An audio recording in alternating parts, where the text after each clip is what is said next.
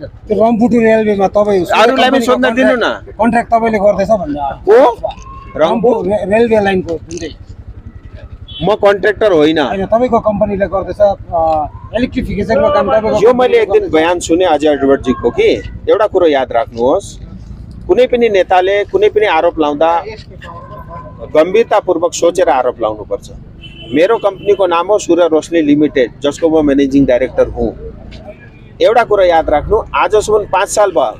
तल कमसेकम सौभन्दा बेसी डिलर सिलगढीमा छन्। पाँच सालमा कुनै दिन आएर डिलरलाई मैले भेटिनँ। र अगर अजय एडवर्डजीले साबित गरे सूर्य रोशनी लिमिटेडले कुनै लाइटिङको या कुनै पनि इर्कोनको एकता इर- इर्कोनले के काम गर्छ?